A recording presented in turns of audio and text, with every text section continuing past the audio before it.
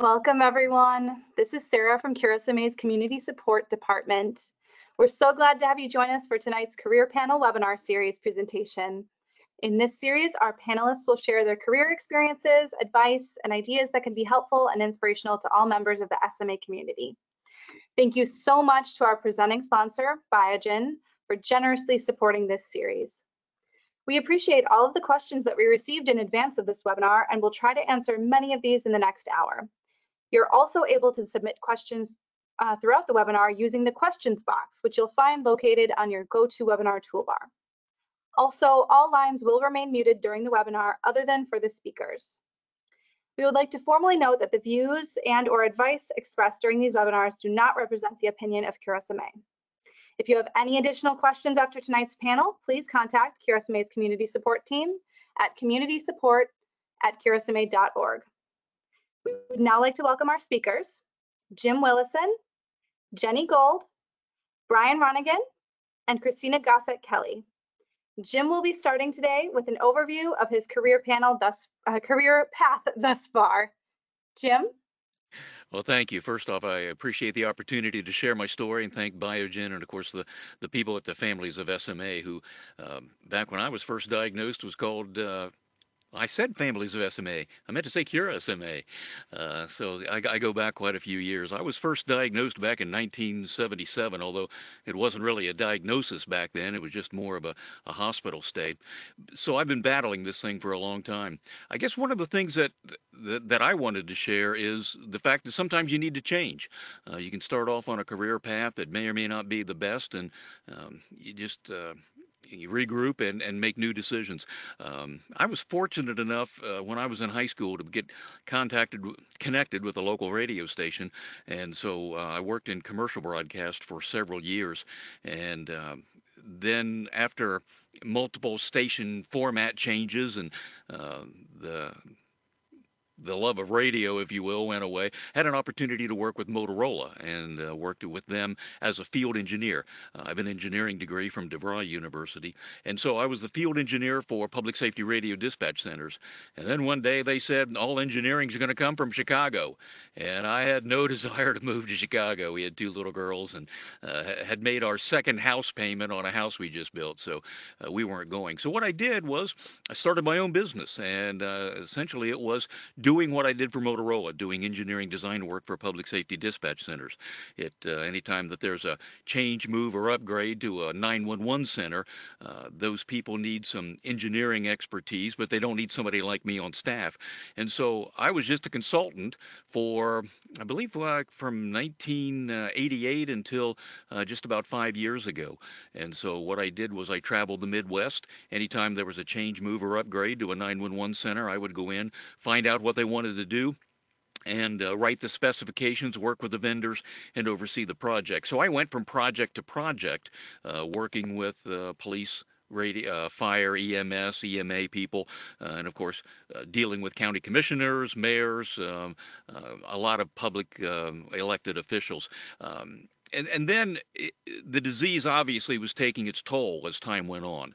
And uh, one day I was driving back from South Bend, and in the middle of the road was a uh, snowplow with a trailer full of salt on its side in the middle of the roadway. And I thought, you know, it's time that uh, maybe I ought to be looking for something else because if that were me, and I was in the middle of the of the road sideways in my car, uh, you know, getting me out would would, would have been difficult. So uh, again, I made another transition to doing some voice work, and so what I do now is I um, do a lot of commercial uh, explainer videos, training videos, uh, things that you see and, and hear on either the internet or radio and TV. It's worked out well, um, partly because uh, with the advent of uh, good software and, of course, the internet, uh, I can be sitting here in my house and um, yeah, I connect with a uh, recording or an advertising agency in St. Louis, and the commercial uh, is for a customer in Dallas, Texas, and we can all be on the line. I can do the voiceover work, and they can direct me and make sure that it's uh, exactly what they want. So, uh, it, with this particular job that I'm doing now, it doesn't matter where I am as long as I've got um, a good, quiet place to record in, uh, that I've got a cell phone with the same number so people can reach me, and of course, most importantly, a good internet connection.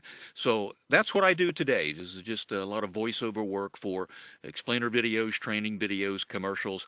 Um, you know, every day's every day's different. Yesterday, I had somebody call me at four o'clock and say, "Hey, can you do this thing? I need 15 second video, and I got to have it in, in in 30 minutes. Can you do it?" And I just happened to be able to be done for the day with what I needed to do. And I said, yep. So I recorded it, sent it to him. Um, and then today I sent him a bill for it. And sometimes it works that way. Sometimes it doesn't. But uh, I've just been able to um, change and, and modify and, and do the things that, uh, that suit me the best. So that's, that's, that's my 40 year story in like two minutes. So I'll, there you go. Thanks, Jim. So um, I'm Brian Ronningen. And uh, first, I want to say I'm really good at predictions because right before we started, I predicted the minute this webcast starts, my son is going to be out of his room walking back and forth.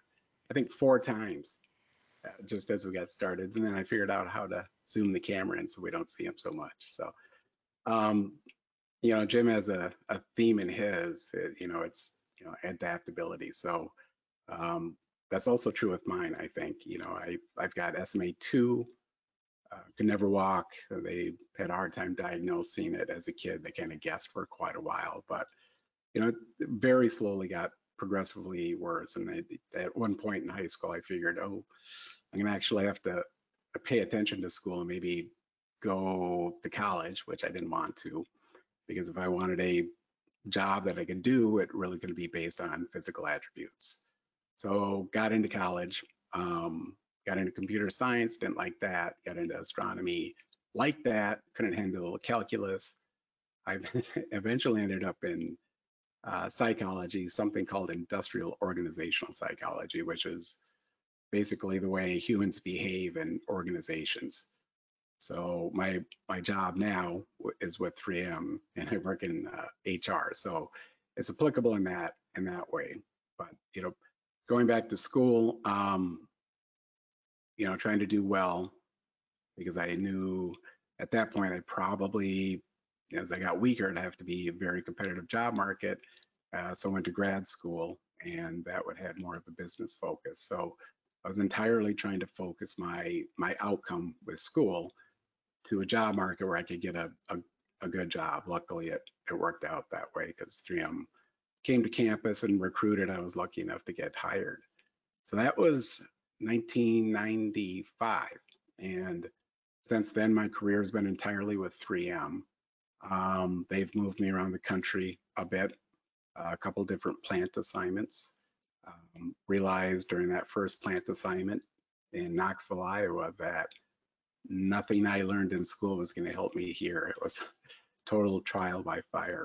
Um, and it was interesting, just you know, the accessibility of manufacturing plants in the Midwest was important and something that they thought about as I as I progressed through the um, through the different plants. Um, I think over that time, uh, I've had just about every type of HR role uh, in HR that one can have. I've been a generalist. I've been in uh, workforce planning, specialist jobs, compensation, all sorts of all sorts of different roles within HR. Um, during that time, I think, you know, I progressively got weaker, always had to adapt, um, always had to, you know, when ne- needed, ask for accommodations, um, even even so much as the, the kind of role that I would have to make sure that I wouldn't have any difficulties with it. So I've been lucky in that regard. 3M's always been very responsive. So today I currently uh, support the uh, global R&D organization at 3M and uh, having a good time, still enjoying work. So thank you and looking forward to the panel. Hey, I'm I'm Jenni Gold. Um, started, I guess my first love of the film and business and movies was, you know, as a kid watching them. And also I did um, in Miami where I was growing up, I did a lot of the on-camera work with the muscular dystrophy telethons, um, which got me exposed to the cameras and the lighting and everything that was going on behind the scenes is what was most interesting to me.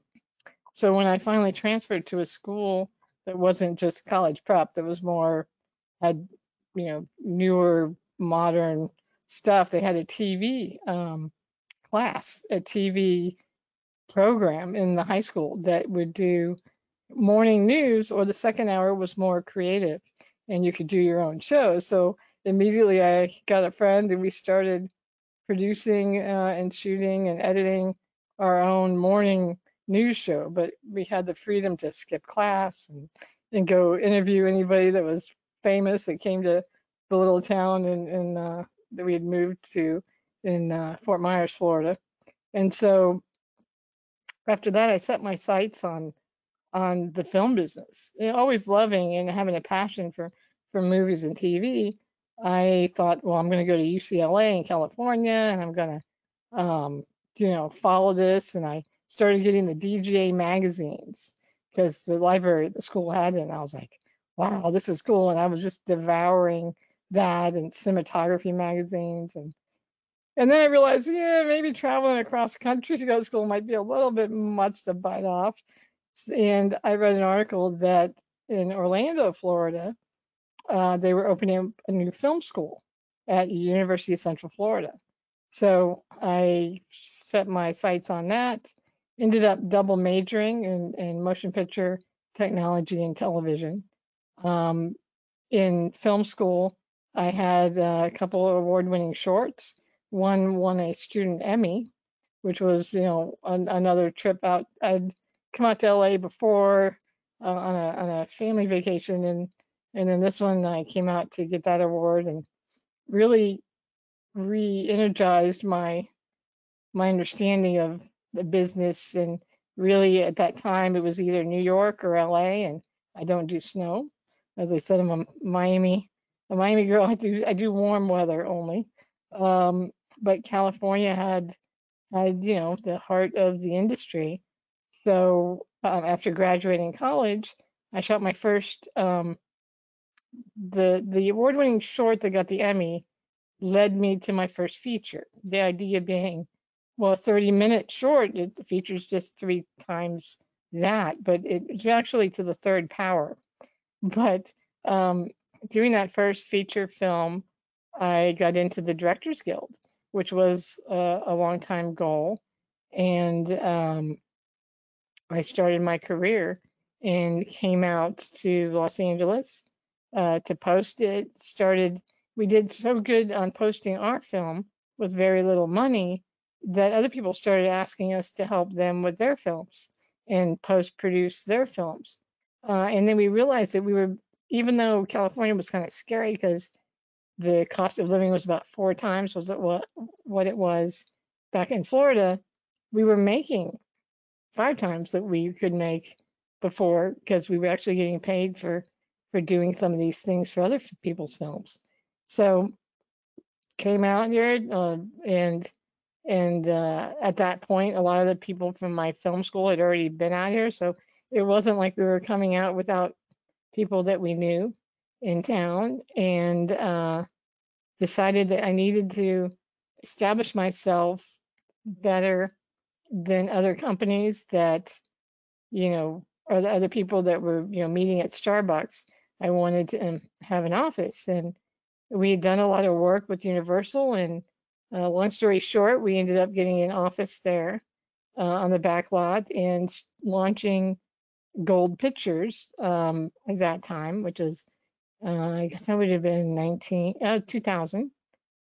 Um, and Jeff and I, um, my husband now, at the time we had, the joke was, know, people kept saying, when are you gonna get married? And we kept making another film and blowing the money. So once we came out here and got established, we had enough to get married. So we ended up uh, getting married and continuing our careers and uh, we now um, recently did a big documentary that you may have heard about called Cinemability, The Art of Inclusion, which has Ben Affleck, Jamie Foxx, uh, Peep, um, Geena Davis, Jane Seymour, and a host of others, um, which is about the the film business and how we've been represented from the early silent movies to today.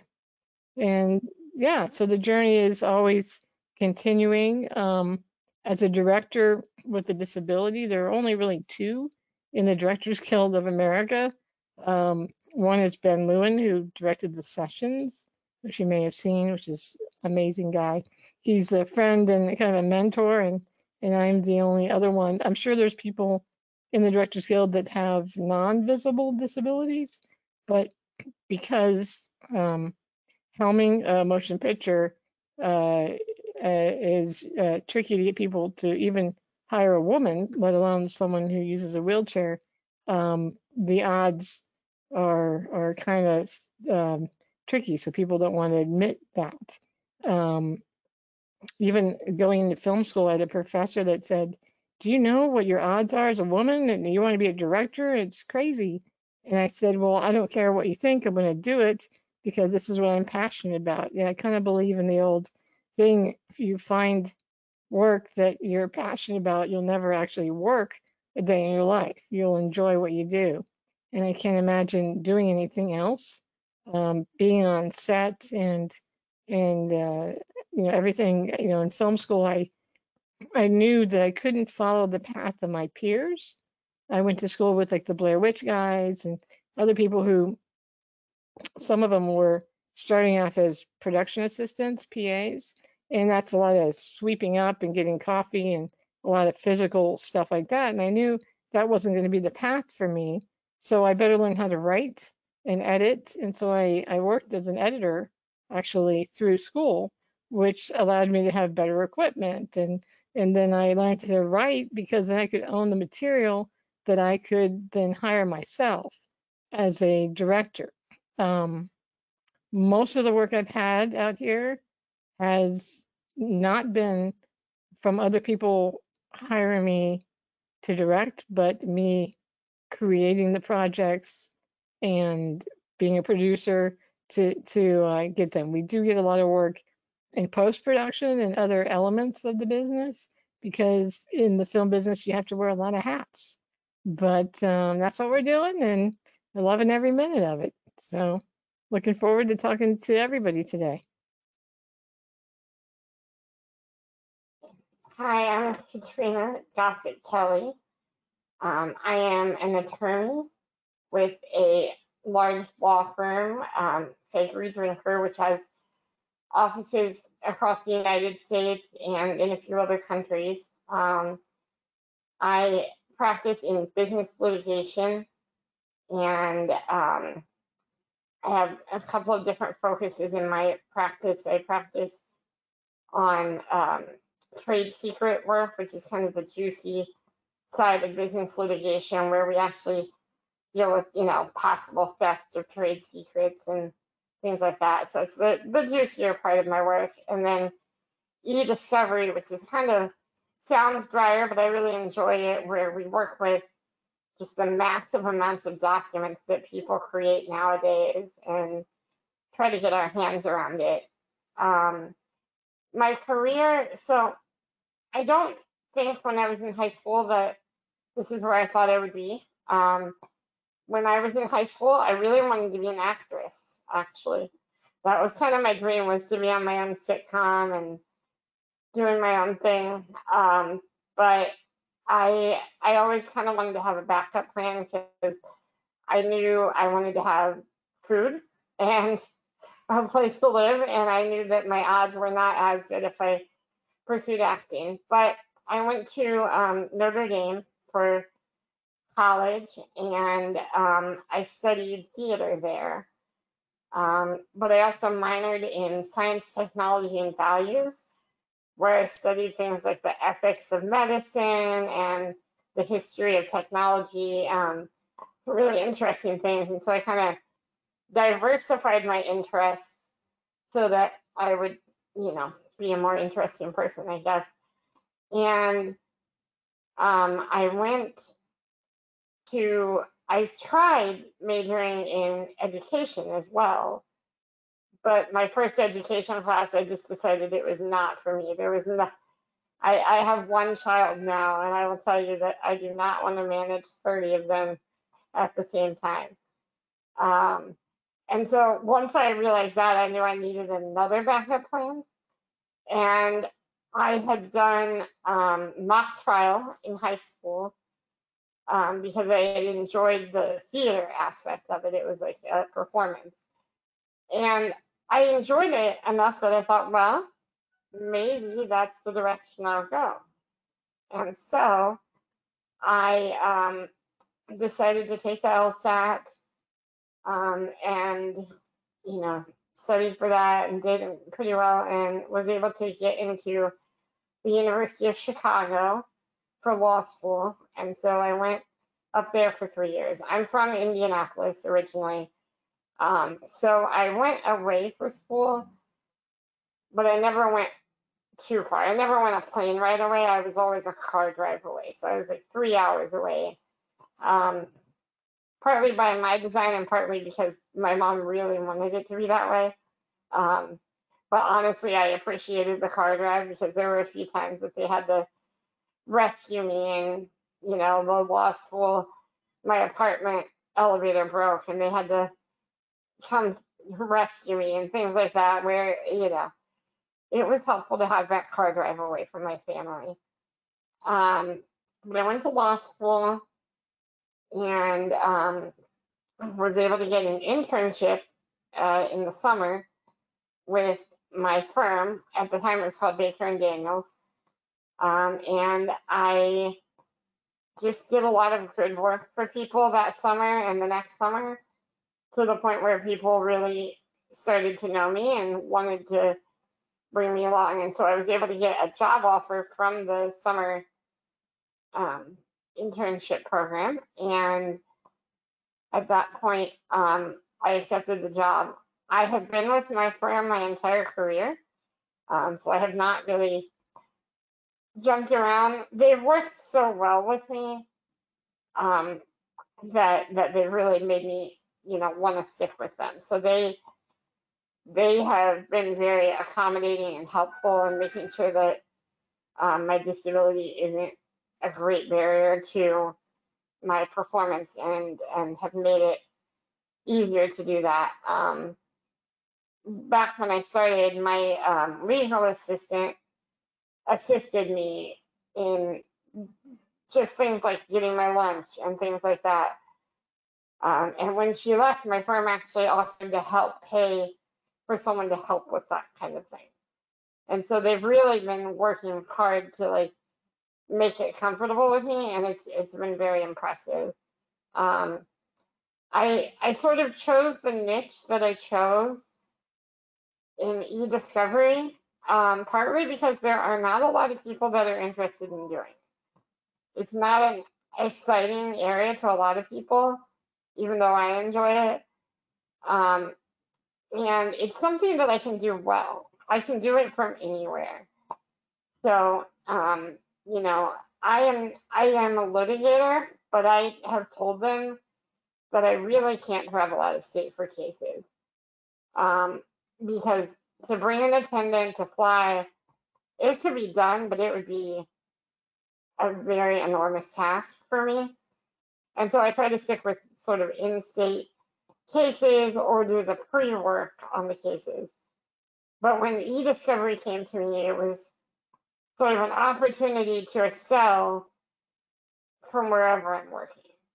Um, and so I kind of jumped on that and have embraced it as a niche. And um, it's been it's been a good ride. I've been there um, 11 years, and I jumped off of the partner track about halfway through my career into the counsel track because I decided that the work-life balance particularly given disability issues of like time to get up, time to get ready, you know, those take away from those, you know, 50 hour weeks, 60 hour weeks, 70 hour weeks that other partners are billing. And so I decided that counsel track kind of fit in with my lifestyle better.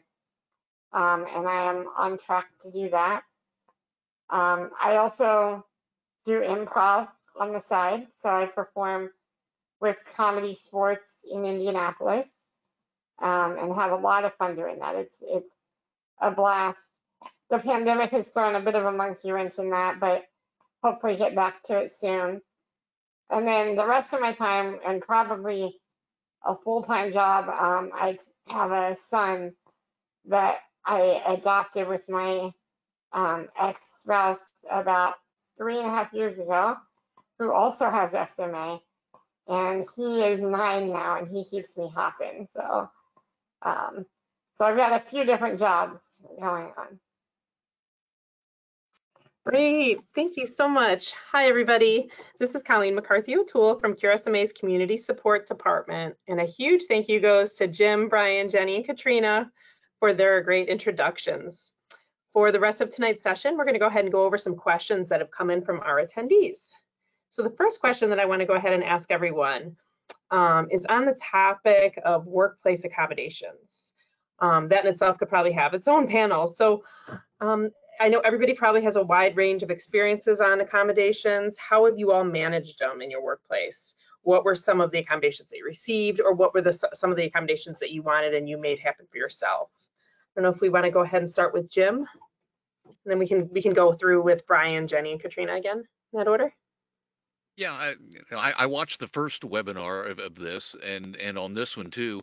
I'm going to be a bit of a of a strange duck, if you will, because I've been self-employed uh, since uh, well, really 1988. So most of my adult life, um, you know, I really never went to work because I've worked out of the house. I I I've been self-employed and working out of my house since 1988. So uh, to that end, uh, part of um, accommodations for me is um, you maybe one of the reasons I fell into the public safety work is because uh, I always knew I was going to be working in buildings that were ADA uh, accessible. Uh, the sheriff's office, the courthouse, the police department, you know, all of those buildings are ADA compliant. So it, it that part of it made it easier. But as far as uh, accommodations at work, um, well, we, we, I built my own house, and so there are no steps, and I'm able to get around, and I've got 36 inch doors, and so uh, I've kind of carved out a niche that's kind of unique to myself. So, Brian. Yeah, I would say during my career, there's been countless like physical um, accommodations made. Uh, could be something as simple as a, a door opener on a bathroom um, or you know a little bit more involved like underground heated garage parking which i didn't ask for but my boss said eh, we're going to get that for you. And that would take that would typically take 25 30 years of seniority um, at 3m i mean really just countless physical accommodations raising my desk up a little bit getting a tray for the keyboard, you know, as things progressively got weaker for me.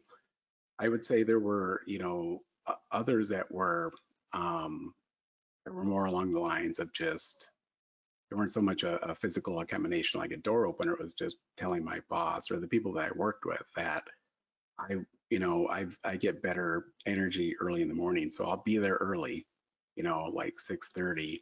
But as the day progresses, I get I get weaker. I start to fatigue, and I got to be out of here maybe as early as four because if I don't, I'll be too weak to drive home. So these they were going to bracket my hours, so to speak, so that you know if I'm not here for a later meeting or I'm logging in from home, that's why. It's not because I'm checking out early or something like that.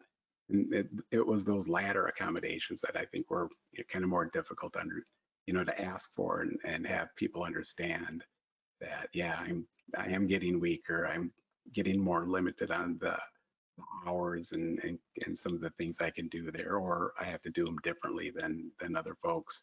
And I think that helped a lot because if you don't, if you don't bring that up and talk to people about it, they might assume some other uh, other reason for that that you know yeah brian's got banker hours he's always out of here at four no matter if we've got a meeting or not so um so yeah, the the full range, and uh, once again, lucky enough that it's always always been a company that's always accommodated.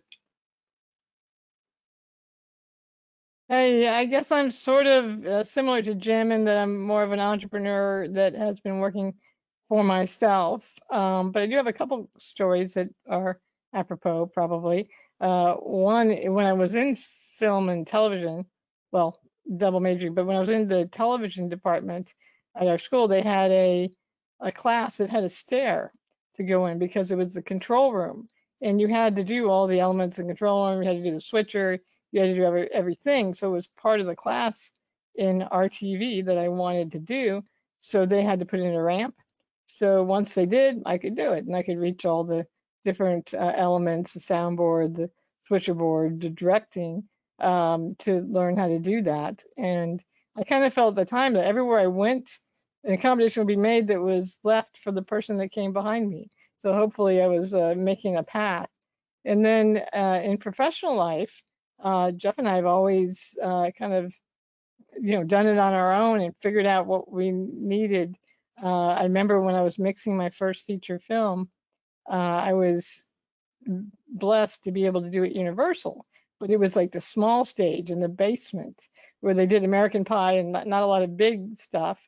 And um, uh, I went and I looked at it and it had four stairs, five stairs to get into it. And I'm like, uh-oh, what are we going to do? And at the time, we hadn't moved out here yet. We were staying in a hotel.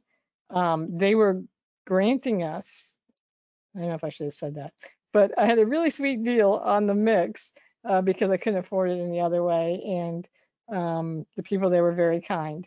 And so I, so Jeff and I went back to our hotel and we're like, well, we'll go to Home Depot. We'll get, I'm like advertising for Starbucks, like Home Depot, everybody. I'm like saying all these brand names. Uh, I'm not, I swear, I'm not getting anything for, just kidding. Uh, so we, we thought we had to get a piece of wood and just figure out our own ramp. And then we get a call at the hotel and they say, um, hey, it's Universal. We want you to come by and see the ramp. We're like, what?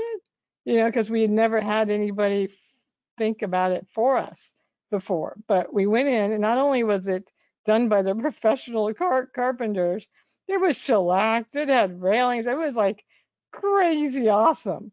And then later on in my career, when I would mix on other stages that had other stairs, they would build ramps. So I was like, I'm like making everything accessible, and they would tell me, well, it's easier. Everybody likes it because when they have like equipment on carts, now they just roll it up the ramp. I'm like, hello, you know, universal design people.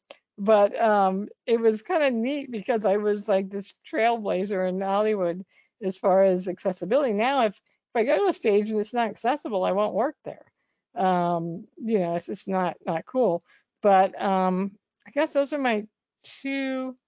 You know, other than that, you know, Jeff and I always like on the set of our independent films, the main accommodation that we have to figure out. I mean, hours are long, as you um, know, in the film business, and that's not really a problem with me. It's something I always fight with people's perception because I'm like, I'm sitting down. It's not that hard. I can tell people what to do all day. Um, but you have to make sure there's a bathroom accommodation and, you know, with uh, big enough because a lot of these stalls and different locations are small. Um, a lot of the actors with disabilities have a big issue in that the honey wagons or the, the restrooms and trailers are not accessible at all.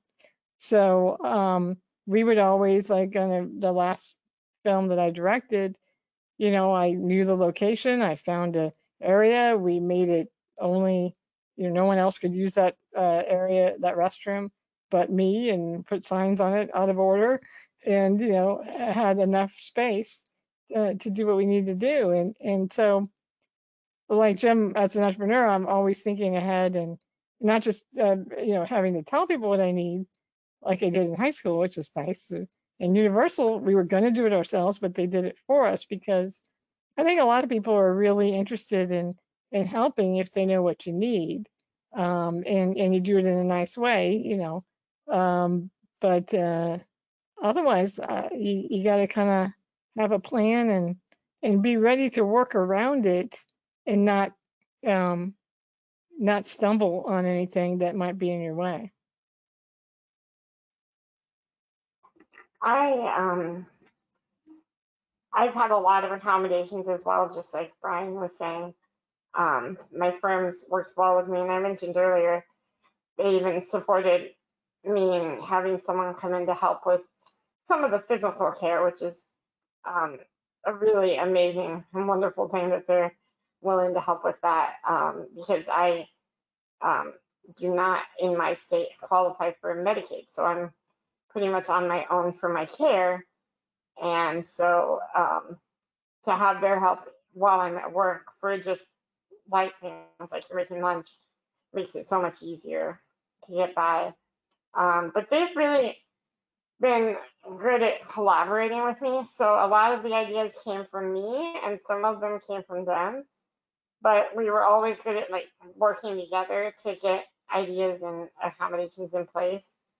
Um, you know, I came up with the software that I needed. So I have a Dragon dictation on my computer. The firm paid for it. The IT people work with me on it to make sure it gets installed correctly.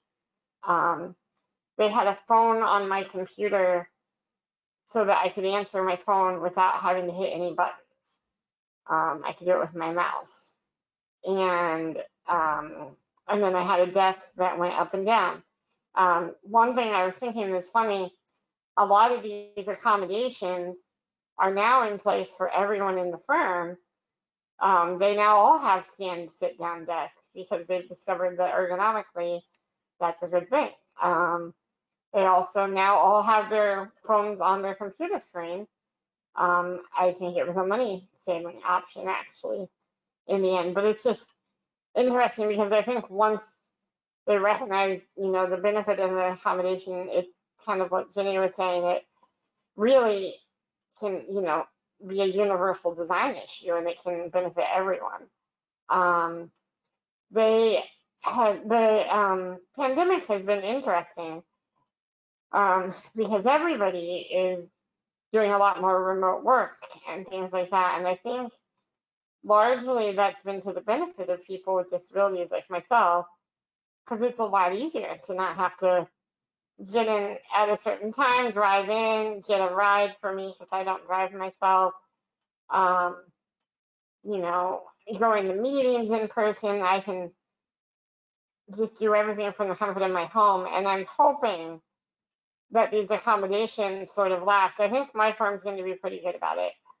Um, I'm going to, you know, request to stay at home a lot more after after everybody else is back in the office because it's been easier to do it here. Um, I've been able to get a decent amount of sleep because I'm not having to get in at the crack of dawn. You know, I can work from my room. I don't have to commute. Um, so it's just, it's been really nice, and I'm hoping that those accommodations stay for everyone. Um, but I, and I'm, I'm sure I've forgotten a billion accommodations that I've had them do for me, but um, that's the general gist of what they've done, which has been really nice. You know, the pandemic has had a lot of bonuses, I think, for employment for people with disabilities. Exactly what you said. You know, work at home is going to be a new thing. Businesses are realizing they can save a lot of money, a Yeah. lot of overhead, not having these big office spaces. People save time driving to work, so they they work longer. They do more. They're more efficient. You know, Right. not only that, but uh, meetings. Like you know how awkward these interviews can be. Well, it- when you're on Zoom, it can be a, a lot easier because you don't have that handshake with. Also, the pandemic is kind of getting rid of that awful handshake. I don't know about you guys, but it was Oh, always yeah. awkward. You couldn't really do it as well, and it was like uncomfortable. It was like, ah, I don't want to shake hands. Plus, germs. People care about germs now, where before nobody cared, and they'd come into your place of work and sneeze, and then you get sick. You know, so it's like everyone now is like on the bandwagon. They're like, let's not get other people sick. And so no one else is getting any other things either. So I have to be like the glass is half full, but there is kind of a renaissance. Also, people are more accepting now, and there is this movement. I just wish it would have been 20 years ago. Yeah, and I think there have been opportunities I've had that I wouldn't have had pre-pandemic. There have been conferences that I would have loved to have gone to, but I couldn't fly out there. I mean, the flight, the attendant, the hotel, all of that was not really a good option, but now they're doing them virtually or at least offering a virtual option. And it's been kind of an amazing opportunity to go to events that I didn't think I was going to make it to. Yeah, I, I would add that along those same lines, the working from home that puts everybody in the same playing field, right? It's been the great equalizer, I think, because I, um, I feel it's a it's like a fair ball game now with all my my peers because I don't meeting to meeting I don't struggle getting from one to another through the elevators, different floors, different buildings. Um, that's easy. I don't have to worry about getting my laptop from one place to another. From meeting to meeting, I don't have to worry about can I take notes in this meeting room because the table's high enough. So it's completely leveled the playing field. Even presentations are a snap. You know, before I was, I didn't know if I could, you know, can they see me behind the podium? Can I mic up? Um, none of that matters anymore. So um, yeah, I really, I really hope it's you know 50% plus work from home um, when we come out of this, which I think most of the employees would like it that way anyways. Mhm. I, I did a I did a speech in Prague over the 2020. Like I'm like, wow, that was different, you know. So world traveling now, and uh, yeah, there's a lot of advantages I think, especially in the in the workplace. Great. That is all such great input, everybody. Thank you so much. And I'm laughing going through even the questions that are coming in and the questions we re we've received. You're all doing such a great job on touching on so many of them. So it's great. We, we've gotten several questions about disclosing your disability in the interview process. And I know this doesn't apply to everybody, but just wanted to see, um, you know, when you were um, interviewing in an interview process, did you disclose your disability? And if so, when did you do that? And if you can just tell us a little bit more about that. And if you don't have anything to add, you could always just say pass as well. But Jim, do you want to start again? Um, as far as interviews go, I really have not interviewed for a job for me. Um, much much like you know you, guys would do that. However, what I do do is I do do presentations, uh, especially when I did the uh, consulting work, uh, whereby you know I would come into a county commissioners meeting and then you know there'd be people all over and I would explain to them what I do, why they should hire me, and so in essence, yeah, that was uh, an interview because I was uh, asking for work to the county commissioners or the mayors or city council and people along that line. So it, it was an interview, but it was always done in public. And uh, to that end, I don't ever recall uh, mentioning my uh, disability because it was the elephant in the room. It was, it was obvious that um, you know, I had a disability. I, I'm a very good type three, so I've been walking most of my life. I've been in a chair the last uh, about six years. Uh, so I did a lot of these interviews standing up, but as most of you remember or know, if you know a type three, you know, standing up is not a normal operation. And so, um, yeah, it was the elephant in the room, but uh, you know, I never talked about it. Um, my focus was on uh, here's the job that you need to have done. Here are my credentials to do it. Now let's get started. So that was more of the attitude that I took um, with uh, what what you would call an interview. Uh, yeah, so you know, with me, whenever I did my last interview, obviously it was it was obvious that I had a disability. Um, didn't have to disclose it. Now, if I were to apply someplace today, and you know, I don't, I don't, I think it has to be post offer before you identify an application. But you know, I, I think disability status is not one of those statuses. It doesn't necessarily hurt you in the process, but doesn't help you like some of the other uh, diversity categories do. There's other diversity categories where people, you know, definitely want to put those down because companies are looking to increase representation in certain areas. Unfortunately, I don't think that's the case with people with disabilities, but like I said, at the same time, I don't, I don't think it's a detriment either. Um, I, you know, I've been using a power wheelchair since seventh grade. So, uh, yeah, so people kind of know when I roll into the room. Um, also, you know, even b- before when I had uh, jobs like through college and stuff before I started my company, um, if someone asked specifically what my disability was, I would tell them. Um, but yeah, it wasn't uh, something that I hid, uh, nor did I have the possibility to hide it.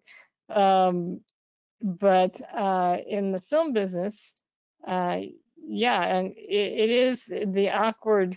The only problem was the awkward moment of them feeling funny or them not knowing how they should act and stuff like that. And once I would, you know, make them relax and say something funny or just, you know, uh, they would realize that, you know, we had other things in common, that it would be better.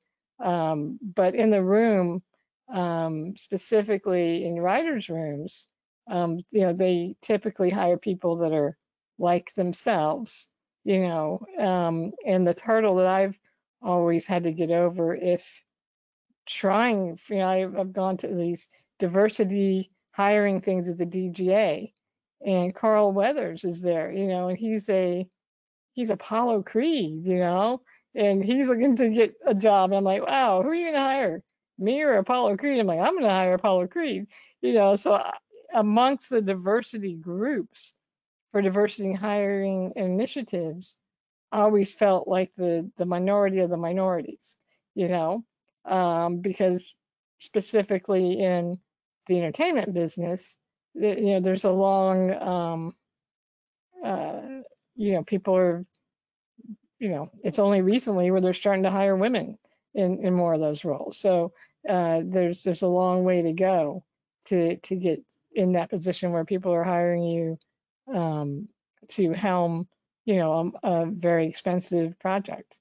But going after jobs like Jim has in the corporate world, I've done that. I've never had any any uh, problems with that at all. It's um it's been a really long time since I interviewed. Um and um so I'm trying to remember exactly how it went, but I believe so some of my strengths, some of my selling points sort of imply disability. So I've published in Quest magazine for the MDA. I've been on boards for the Governor's Council for People with Disabilities, things like that. And so it comes up in my resume that you might imply that there's some kind of disability connection but I don't think that I sort of put it out there, you know, in a forthright way. I don't think that I would have checked the box that like says, are you disabled? Unless I had some reason to know that it was a good box to check. Um, but I, but as soon as I'm in the room, obviously it's pretty clear. Um, and if you're also, I think, you know, when you're doing the interview, you want to make sure that you know that the place you're going is accessible. So you need to either do your research or you're going to have to disclose it before you meet with them so that you don't have an awkward situation where you're sitting outside the building wondering how you're going to do your interview, you know. So I, um, as I recall, I sort of implied it in my resume, but didn't really disclose it outright. But it's no secret once I roll through the door. So um, it came up at that point, and then I I think the I I did not bring up my disability in the interview. Um, I believe that they may have asked at some point what accommodations I thought might be useful to me. Um, and I felt safe answering that question. I mean, I didn't like list out every dream accommodation, but I felt safe answering it to discuss some of the basic accommodations that would make it easier to do my job. Um, so we had that conversation, but I was not the one to initiate it in that situation. I, I think also that I've had the most success and thinking back in interviews is when I didn't want the gig. You know, it's like when there was no pressure and you're relaxed and you like don't care, uh, then I would always get it. So I've kind of tried to adopt that uh, since then and like just going like I'm not going to get it anyways, uh, which seems like a defeatist attitude, but then it takes all the pressure off, and then then you're more relaxed and sometimes you get it. That's great. Thank you all so much. We have a few related questions I'm going to kind of merge together. Um, you know, actually Brian had actually touched on this one. And the first one is how do you cope with fatigue from working, you know, full-time schedules? And then other questions just on balancing um, your health with your SMA and your busy careers. Um, how do you find yourself being able to balance all of that at once? If we want to start with Jim again, then go around. Yeah, balance is important. Um, you know, one of the things I've always uh, told people is I, I always make sure that I, I exercise, I eat right, and I get enough sleep. Um, and, I, and I do, you know, all three uh, fairly well uh, on, on, a consistent basis. Um, it, it, doesn't bother me at all uh, if I, especially if I've hit most of the things I want to do on the week uh, for the week, uh, to to pull out of here on Friday afternoon, go to the gym, exercise, and then come back. Um, and actually, you know, take time away from work uh, in order to to do that. Uh, it, it's critical.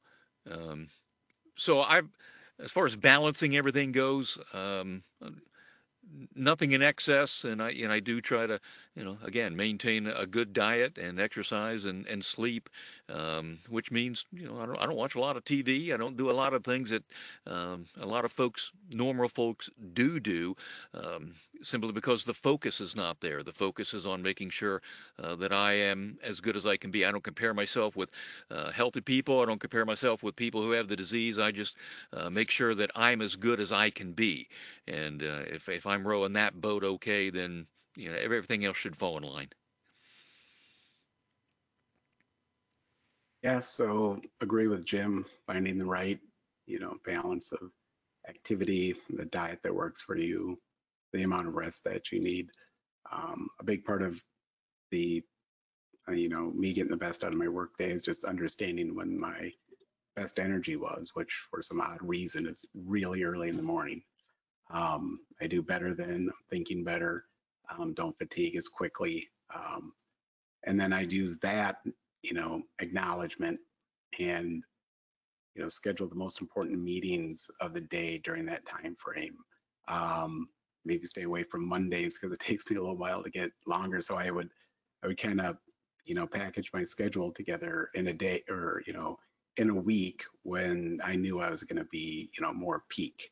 Um, the meetings that that mattered, or if I had to give a presentation, meetings that didn't matter as much, maybe even Friday afternoon or something like that. But I understood when I was going to feel better and when I wasn't. Um, I think the other thing is just you know accepting the kind of the next the next level of help one might need as far as okay i'm going to have to work a day from home every week um, if i want to keep doing this or i'm going to have to maybe occasionally someone's going to need to drive me to work instead of me doing it because I just can't do it every day.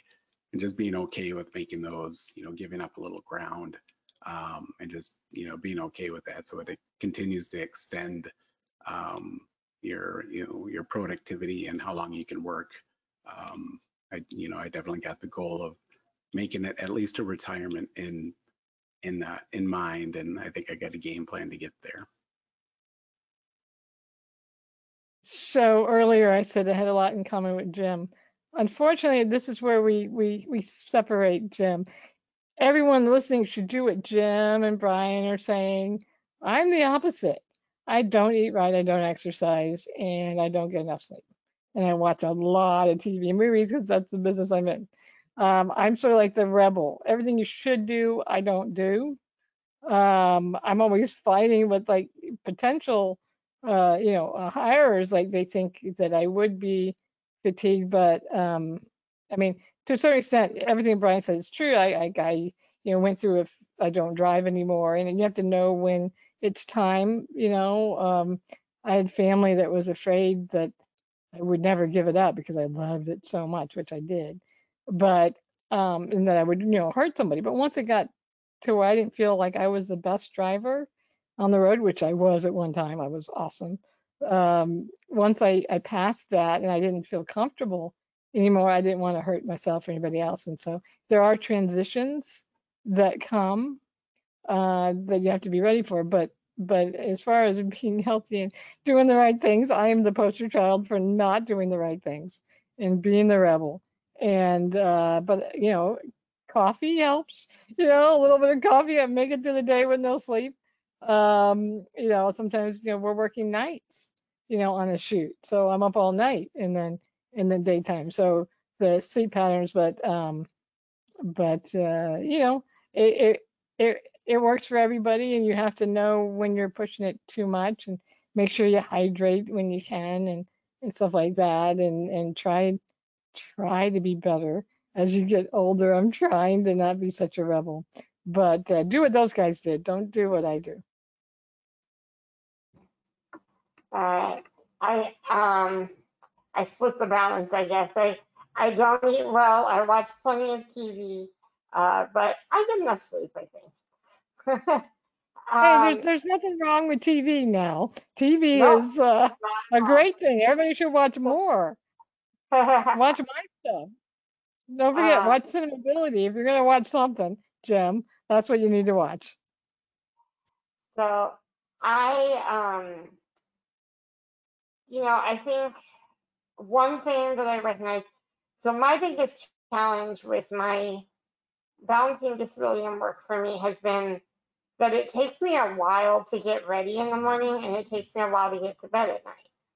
And so I lose a good three or more hours of my day doing those things. And um, when I was trying to keep up with my um, fellow associates and work the same number of hours that they were working, I didn't recognize that like they didn't have that three hour loss of time that I did. And they were probably getting better sleep than me. Um, so that's when I kind of got off the hamster wheel a little bit and decided that counsel track was probably more designed for what I really had time for in my life and in my day. As in particular, that was after I had gotten married um, and was contemplating adoption. I, I knew that there was going to be other things pulling on my time. So when I stepped into that counsel role, I was able to take a reduced hours schedule. It's still plenty of hours. It's, you know, I'm at like 85% or something, 89% of what other people are at, but it makes it easier to do it. Um, and so I, I actually get more sleep than I did before. The other thing that has happened since the pandemic is that I've sort of shifted my times that I'm working. So I tend to be working more from 10 until 6 or 7 instead of, you know, being in the office at 9 a.m. because if I was in the office at 9 a.m., I had to be up before 7, maybe 6:30 in the morning. And and I tend to be a night person, so I, you know, didn't want to be in bed at 8 o'clock at night just to get my sleep. Um, so I've been able to kind of shift that as long as I, because I'm working from home, if I need to be on a call before that time, I just do it while I'm getting ready. I can make it work um, here. And so I've sort of shifted the hours to what works well with my schedule so that I can actually get eight hours of sleep. And it's been a game changer to get those eight hours of sleep. I I was like falling asleep in my office, you know, not falling asleep fully, but sort of that embarrassing dozing um, all too often before uh, when I was only getting seven hours. So, and and I don't find my arms as fatigued. Um, I don't find my voice as fatigued. So I think all of that has improved by getting those eight hours of sleep. Um, I still eat junk. I probably shouldn't, but I um, we'll see if one day that changes. But for now, at least get my eight hours. That's great. Thank you all so much. So we have one last question. Um, we have so many teenagers, young adults, and college students watching tonight, as well as so many of their parents. Do you each have any advice to all these young adults um, and or to their parents? And again, if we just want to start in the same order with Jim first. Uh, this case, I will say, do what Jenni does, and that is follow your passion.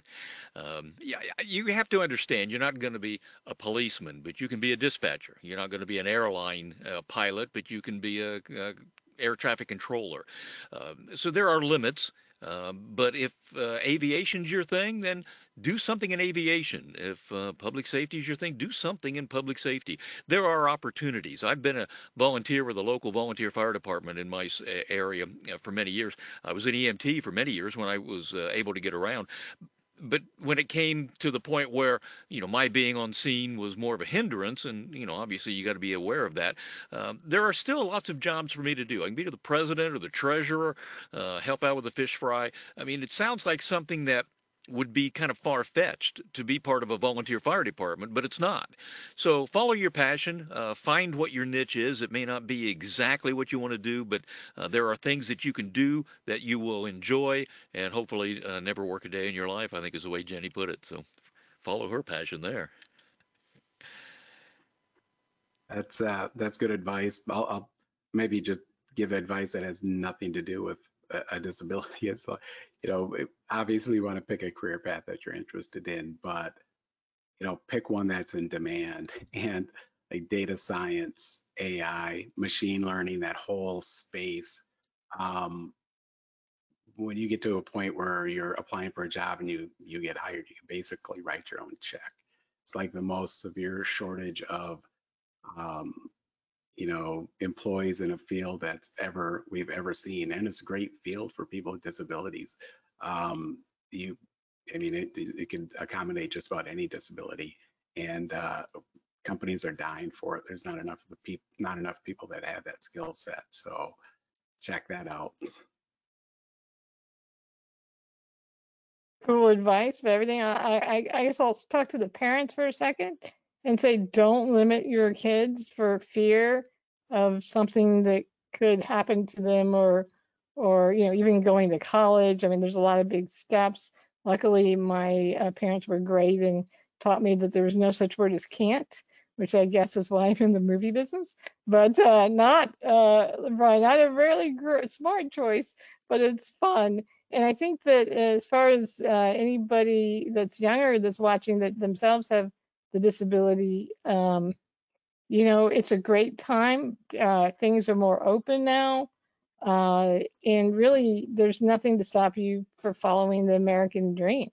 I mean, uh, we were talking earlier, Jim and I, about uh, Ralph Braun, who had SMA, who started, you know, his family. He told me that when he was growing up, he was embarrassed once because he had to go to school wearing a shirt that his mom made for him out of a potato sack. They were so poor. And he, before anybody had a vehicle with a ramp, invented, you know, the wheelchair lift and became a multimillionaire.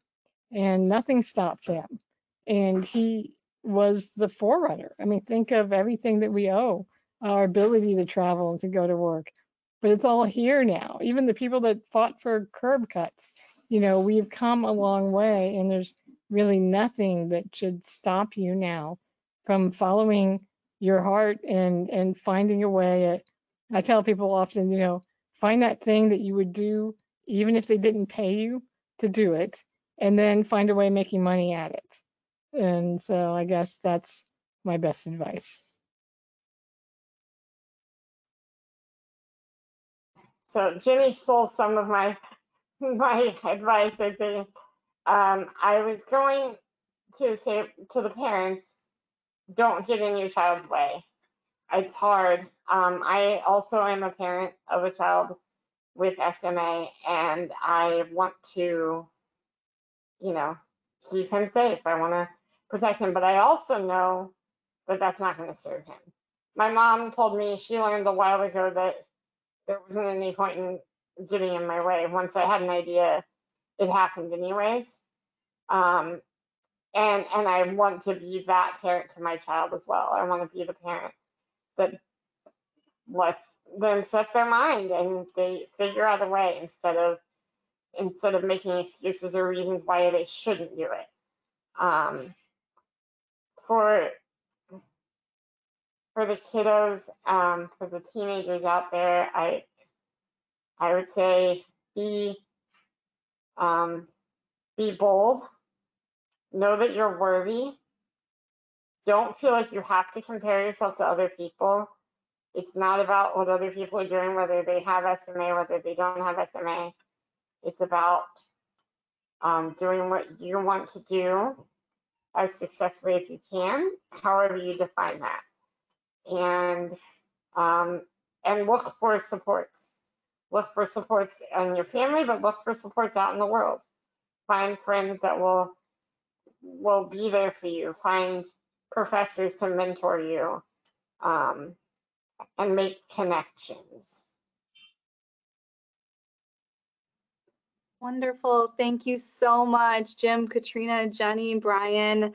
Uh, thank you so much for ta- taking your time to be with us today and share all of this uh, input and for this just organic, very helpful uh, conversation we've had today. Thank you so much again. Um, and thank you to all of our attendees who have listened in tonight. You'll be receiving a follow-up email that'll have a survey link, and we'd greatly appreciate any feedback that you have to share with us. And again, we're so thankful for the incredible support from Biogen. They are our presenting sponsor and are making this career panel webinar series possible. We hope that everyone will be able to join us again for our next career panel webinar on Monday, November 15th. That will be the final career panel webinar of this year. If there's anything that we can do for you or if you have any additional questions, please email us at communitysupport at curesma.org. Thank you so much again, Jim, Katrina, Jenni, Brian. Have a great evening, everyone.